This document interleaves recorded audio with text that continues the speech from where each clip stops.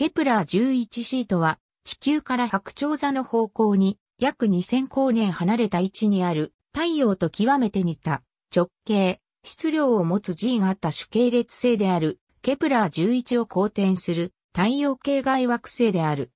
NASA が運用しているケプラー宇宙望遠鏡により発見された。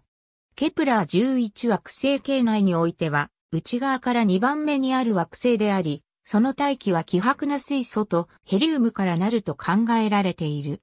ケプラー 11c は13日で、恒星ケプラー11の周囲を公転しており、密度は水にも満たないと考えられている。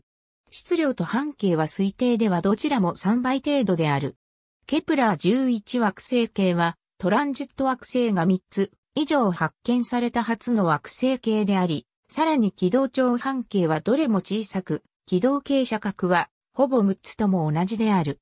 2011年2月2日に発見の内容が公表され、後にネイチャーに出版された。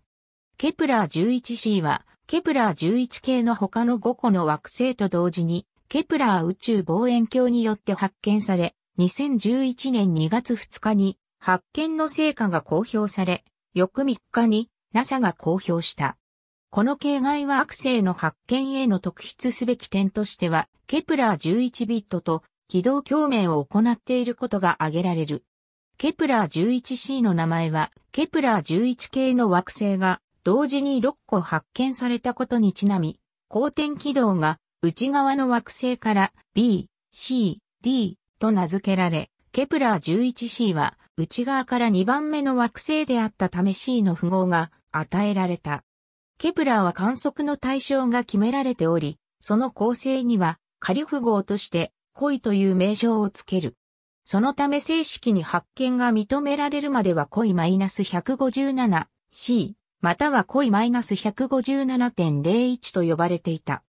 このケプラーとは NASA が運用している宇宙望遠鏡で太陽系外地球型惑星をトランジットにより発見することを試みている。このトランジットは、恒星の等級のわずかな変動によって観測され、その後の再調査によって、惑星の存在への真偽が裏付けられている。この再調査は、ヘイル望遠鏡、シェーン望遠鏡、MMT 望遠鏡、 WIYN 望遠鏡、ティリンガースト望遠鏡、ケック I 望遠鏡、ホビー・エバリー望遠鏡、ハーラン・ジェイ・スミス望遠鏡、北欧光学望遠鏡によって行われた。ケプラー11系と水星、金星の軌道ケプラー 11c は、ケプラー11系の惑星の中で、ケプラー11から2番目に近い軌道を公転する惑星である。軌道長半径は 0.107au と、太陽と水星の距離の約4分の1しかない。すぐ外側を公転するケプラー11ビットとの公転軌道の差は 0.016au しかない。公転周期は約13日と35分で、軌道離心率は0.026であり、公転軌道は円軌道に近い。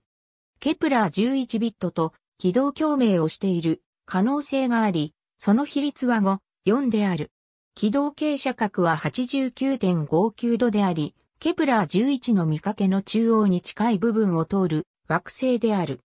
ケプラー 11c の通過時間はケプラー11系の惑星の中では、通過時間が3番目に短く、ケプラー11の手前を4.62時間で通過する。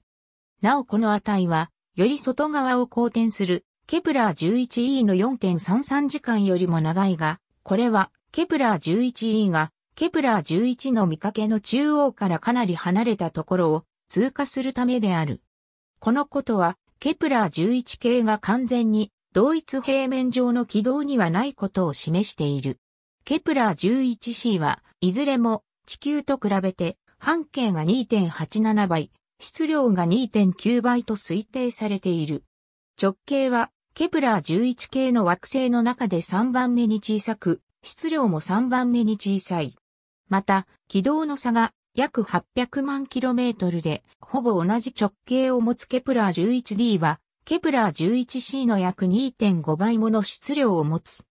ケプラー 11c がケプラー11の手前を通過すると、ケプラー11は視等級で0.82プラスマイナス0.01暗くなる。この値は、ケプラー11系の惑星の中で3番目に小さい。なおこの値は、より半径の小さいケプラー 11F の0.55プラスマイナス0.02よりも大きい値である。2011年の論文では、半径はトランジット法の観測により、ある程度正確に求まっていたが、質量は7.4倍から18.3倍と、かなり幅があった。この差は、ケプラー 11C とケプラー 11b が、互いの重力で、公転周期を狂わせていることによる直接的なデータの質の問題である。2013年の論文では、数値がかなり変わっており、地球の13倍と考えられていた質量は3倍に修正された。後の2014年の論文では、地球の6倍とする論文と2倍とする論文がある。仮に13.5倍を取るならば、平均密度は2.3グラム毎立方センチメートルである。これは100%純粋な水でできていると仮定する場合よりも値が大きく、太陽系のガス惑星と比べても高密度である。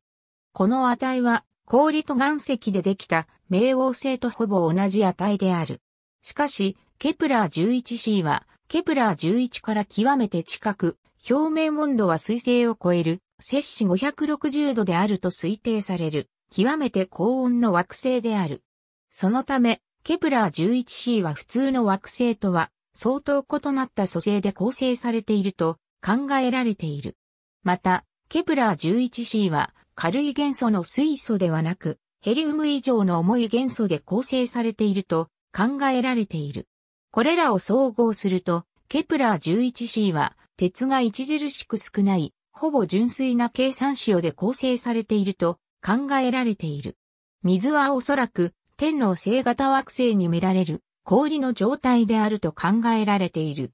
また、水素とヘリウムでできた大気を持っていると考えられている。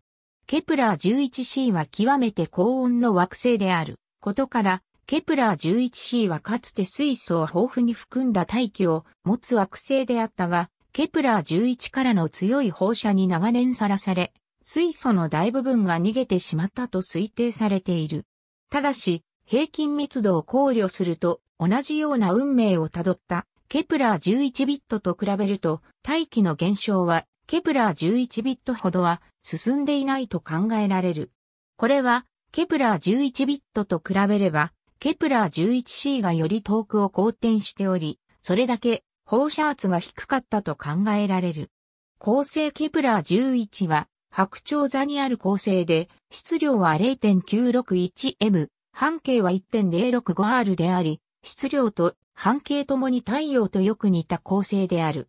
金属量もほぼ0であり、これも太陽に似ている。